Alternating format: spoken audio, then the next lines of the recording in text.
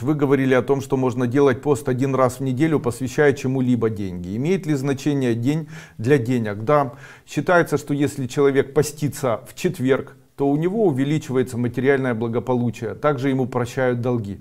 В случае, если человек постится в воскресенье, то его жизнь становится более легкой, не такой сложной, не такой, наверное, обременительной и тяжелой. В случае, если человек хочет решить какие-то отношения или решить как-то свою судьбу и сделать так, чтобы судьба повернулась к нему каким-то решительным таким образом. То есть там мужчина с женщиной живут, хотели бы расстаться, но не могут из-за там имущества детей или еще чего-либо. Вот э, такой пост необходимо проводить во вторник.